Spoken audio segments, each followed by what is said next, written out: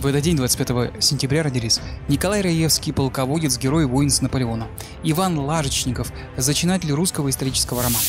Среди современников стихи, романы и военные записки литератора Лажечникова пользовались заслуженной популярностью.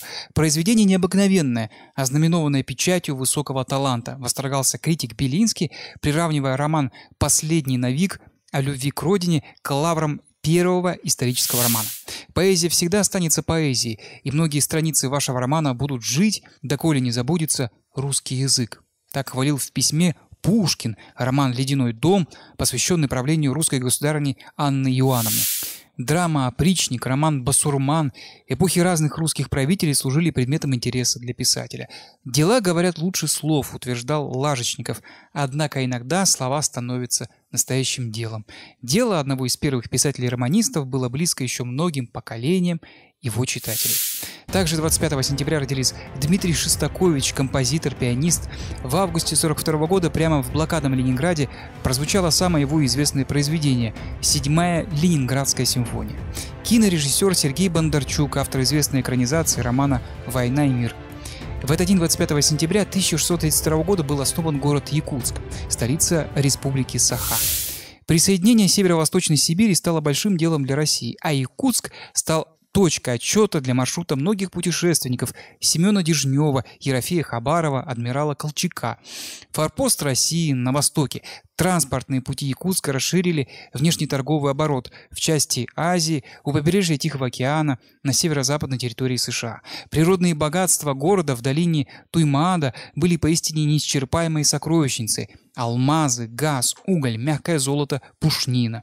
В стойкости с кристаллами могли соперничать лишь якутяне, которые не только научились жить в условиях вечной мерзлоты, но и подавали пример другим людям, в частности, ссыльным декабристам, каторжанам, один из которых партийный деятель Георгий Ципирович вспоминал – Якутск – последний город на нашем пути. Дома здесь почти сплошь деревянные и одноэтажные, улицы немощенные и страдают отсутствием фонарей.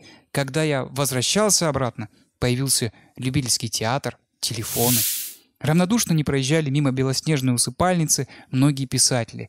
Александр Пушкин в последний год жизни планировал написание книги о северо-восточных народностях Сибири, главным героем которой должен был стать камчатский ермак, путешественник Атласов. Максим Горький свой очерк о деньгах посвятил якутскому общественному деятелю Алексею Семенову.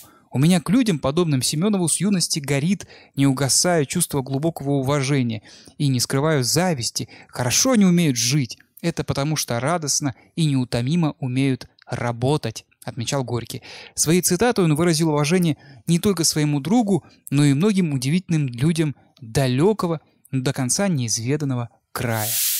25 сентября 1763 года указом государни Екатерины II в Москве открыт Павловский госпиталь, первая публичная больница в России.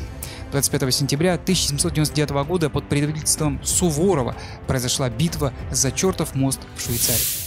18-дневный швейцарский поход Суворова стал одним из самых ярких в его богатой карьере.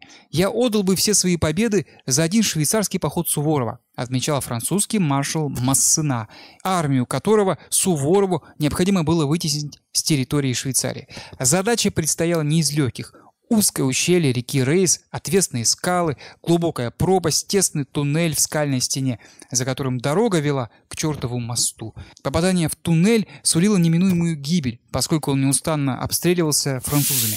Суворов решил пойти другим путем. 300 добровольцев стали скалолазами, пробрались по скалам над туннелем к небольшой гряде, выбили заслон и обеспечили проход русским войскам по тоннелю. Два других отряда штурмовали реку Рейс для того, чтобы зайти в тыл французам.